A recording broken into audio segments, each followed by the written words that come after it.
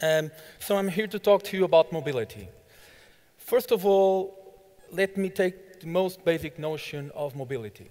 So mobility is about motion, it's about movement. It's about going from point A to point B, following a given path.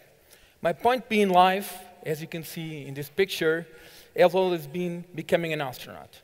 Ever since I can remember, my goal in life has been going to the outer space and being all the best that I could be, being like a national hero. A and along the way, I did most of what an astronaut should do. So I tried to be all I could, the best that I could be in school. I became an aerospace engineer. I took a master's in astrophysics. I studied abroad in France and the United States. But eventually, going from point A to point B doesn't always follow a, a straight trajectory. So for a number of reasons, I had to come back to Portugal. And in a way, I felt frustrated. In a way, I, had, I, I thought I had to revise my dreams and see what to make of my life. And in Portugal, I came to another scale of thought. I stopped thinking about going to the unknown, to the, to the physical frontiers of, of what we know, but to the, to the local uh, mental barriers that we face in the world that we have today, and that's actually killing us. So, mobility is all about everyday people's lives.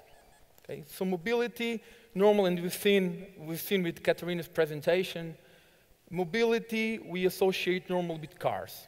Okay, so with cars, and uh, due to the great, this great genius that Henry Ford was, with the democrat democratization of, of cars, uh, with, with this car, one car for everyone uh, lemma, Ford actually brought us a lot of problems. So if you take a look to the 20th century, of course, the growth of world population was amazing. People started displacing to, to streets, to, to, to cities, and, and everything seemed to, to be going really well economic growth, cheap energy, everything was amazing. But suddenly, we are faced with cities that are no longer uh, created for, for, for the individual, for the citizens, but cities that are created for cars, for vehicles. It's all about infrastructure. It's about physical things that take us from point A to point B, and it's not really about living uh, and our existence as individuals. So, in, like uh, Norberto was saying, every day we spend like three hours here in Portugal in traffic. If you go to places like uh, Beijing or, or, so, you lose like six or seven hours. It's a fact that, for instance, for a country like Portugal, uh, in terms of productivity, traffic congestion actually accounts for 2% of the GDP. Uh, another major issue when you have so many cars road accidents. Actually, road accidents are the, the, the biggest cause for uh, death in the world for people below the age of, of 25. So you can see it's a, it's a really, really uh, bad problem. And of course, and this is uh, mostly related to the, to the, to the work I, that I do, there's a sustainability issue. There's the, the, issue of depletion of resources. There's the issue of pressure on the environment, of, of, of energy, of emissions, of pollution, of noise. And these problems clearly, we, we clearly will not be able to be living with these problems in the future. So what are solutions that we, we are looking for nowadays to tackle these problems? What are the solutions that actually uh, work on? One of, one of the, the, the, great things that we are now uh, studying and, and, trying to implement in pilot projects all around the world is, is the question about sharing. Uh, Katarina presented uh, great examples on sharing, on collaborative experience, or on peer-to-peer -peer experiences. But actually, car sharing experience that we now have in cities like Amsterdam or um, London with bike sharing, and uh, all, actually all around the world, we, we've seen great results. So uh, most of you wouldn't know, but actually in cities where people are actually using car sharing schemes, you see that drivers have reduced by 80% the amount of time they spend driving. So all the other 80% of times they, they, they, are doing something else. They, they are not using their cars, they are taking their bikes, they are walking around, they are enjoying life. Of course, there's also the, the, the question of efficiency and I, am a lover for electric vehicles, and this is actually where I, where I began my work in. And actually, one of the best things about Ford is that when Ford began, began his, his, his, uh, great invention for mass production, actually the winners at the time were electric vehicles. Most of you wouldn't know, but the first uh, individual vehicles, as cars as we know them, were electric. Actually, until the, maybe the, the, the the second decade of the, of the 20th century, uh, most of the car companies in the world were producing electric vehicles. But that guy had to mass produce an internal combustion engine based vehicle. So, cheap energy, growing economies, oil, so we got into, into that. So, nowadays we are creating smart electric vehicles, electric vehicles that can, can get their energy from our homes and you don't have to go to, to, to, to, to gas pumps. Electric vehicles that consume the energy that we as a country are producing and with all the, the rains that we've been having in the, in the, last, uh, in the last month, uh, most or almost all of the energy that we were producing in Portugal was 100% renewables. So think about not having to import all that oil from, from outside of the world. So, but with these electric vehicles, it comes a lot of intelligence as well.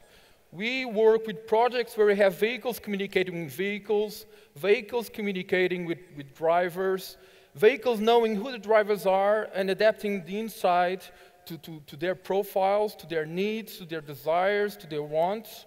Vehicles that communicate in infrastructure and in real time are constantly getting information and, and making us uh, try to, to, to integrate all that information to creating new business models, more rational usage of, uh, of vehicles and of how we move. So this is basically the arena where I work in, making things smarter, like uh, smarter vehicles, smarter houses, smarter appliances. So right now the trend is making everything smarter. But let's take a look at mobility and how we actually move. So all of the 100,000 people that we have here, you had to come here somehow. So some of you walked here, some of you took a bike, some of you took a car. But the fact is, most of you just came here the way you, all, you, you always do. So we as people, we are creatures of habit. So we can have a, a lot of information. We, we can know everything about our car, how we use its impact, but the fact is that almost half of the decisions that we take are unconscious. So maybe when I'm working in, in making things smarter and appealing to the rational side of people, maybe what we should actually be doing is tackling the emotional side of people, the primitive uh, inside, uh, and the animal creature, creature that lies inside. So so let's take a look at people like animals. And this is the experience that we want to be trying in, in, the, in the very near future. So animals constantly compete for everything. Okay, so that's our most basic uh, instinct of survival. And, and to do that, we compete.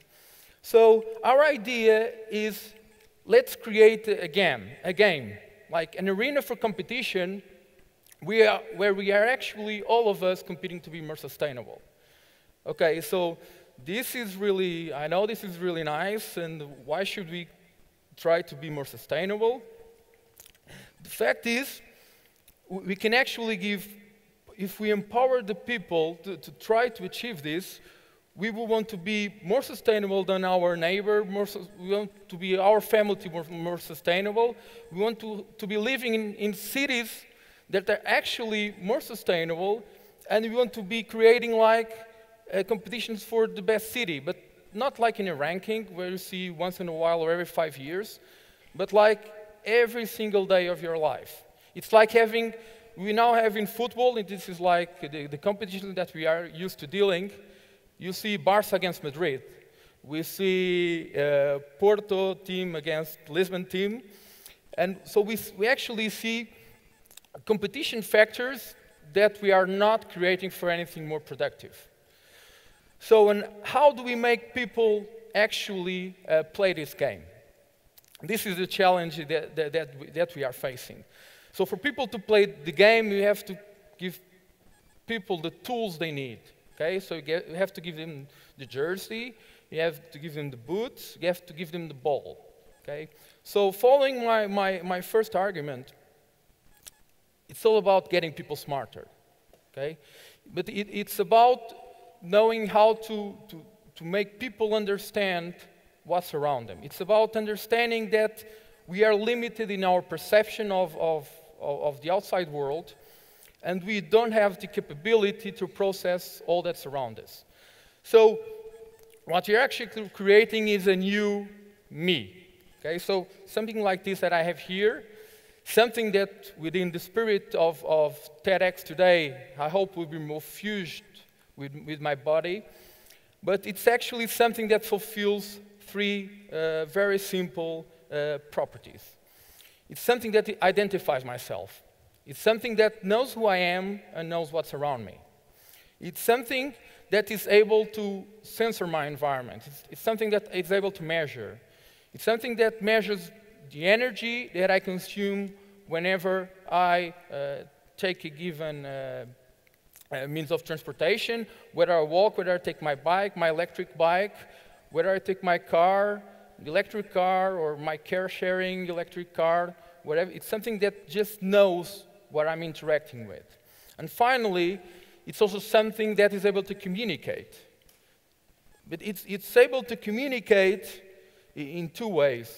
It's able to communicate with my community, with, with the city that's around me. It's able to convey all the information that my fellow uh, teammates need to know that together we are building up to something. But it's also something that communicates with my primitive inside.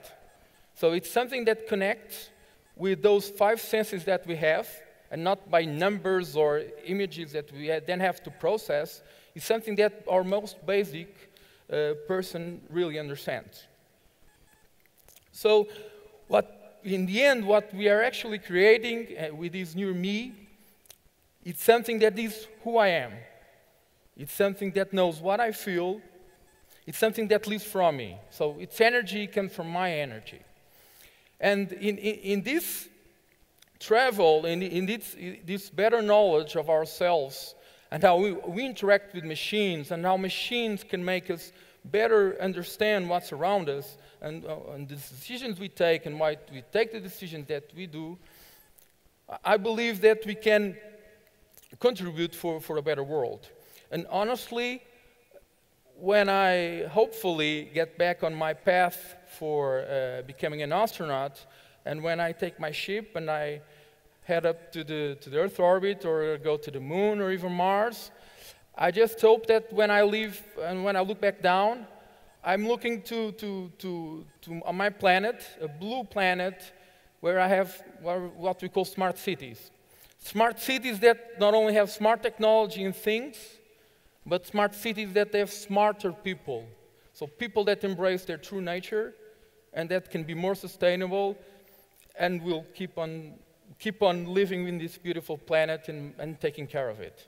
So thank you very much.